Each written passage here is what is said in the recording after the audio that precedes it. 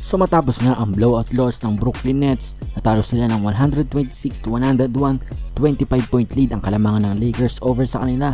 Na-interview nga ito mga players nila, si Kevin Durant, si Jeff Green at pati na rin ang bagong acquire nila na sila Marcus Aldridge. Nag-explain sila bakit ba sila natalo dito sa injured Lakers team na ito. Panoorin nyo ang pahayag nito ni Kevin Durant sa kanilang post-game interview.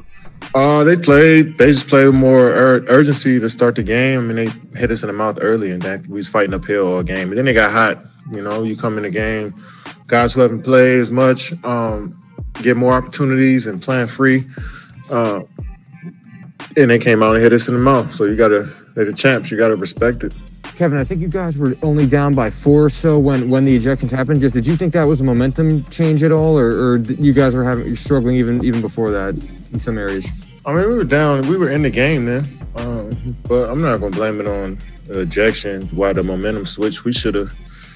They got it going, so we should have got it going.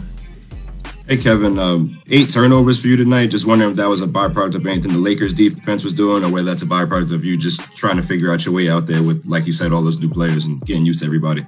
Yeah, that's all on me. I mean, they were trapping me and and and keeping two on the ball a lot, but all that stuff is still on me. I can't, you know, I can't put that on nobody else. I, I'll I'll I'll be better.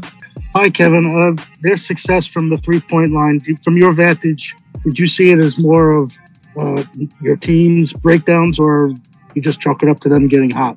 There's a couple breakdowns, but they got hot. I mean, Ben McLemore hit four over a hand in that fourth.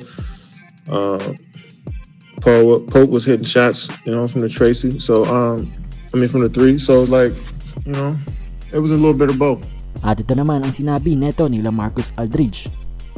Uh, just gotta do a better job of uh, trying to uh, set the tone better. Um, you know, it starts with me. I started out kind of passive tonight, and I think that was kind of contagious for everyone else. You know, um, it was hard for me to get going tonight, but no excuses. So I definitely got to be better, and I will be better. But um, definitely got to, you know, hit first and be more aggressive. And tonight, uh, I was just way too passive and kind of just out there, just floating. But like I said, I'm, I'm gonna be better, and I'm still getting my legs back. I hadn't played this many games in a while. No excuses, but like I said, um, you know, I'm gonna uh, take this on the chin, and I'll be better. At sa panghuli, itong si Jeff Green na interview din. Panoorin nyo. uh, leading the league in defense. You know, what did you feel like they did to kind of disrupt you guys tonight?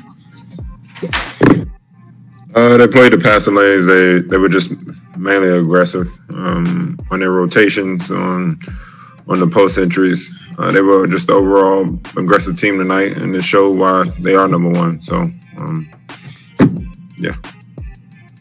Kristian Winfield with the New York Daily News. Hey, hey Jeff, is there like a, a single takeaway that you can say, okay, well, this is what we need to work on from this game, or is it a, a, a multitude of things that you think appeared in, tonight? Um, they were the team that gathered themselves after that, and you know, stayed composed and uh, went on a run. They became more aggressive in transition. They became more aggressive in attacking the rim, and that's how they, you know, opened the lead up. So yun nga lamang guys para sa video natin ngayon. If you guys like the video, make sure to like the video. And if you not subscribe, syempre mag-subscribe ka na dahil everyday meron tayong mga NBA updates. So yun lamang. See you guys next video. Bye!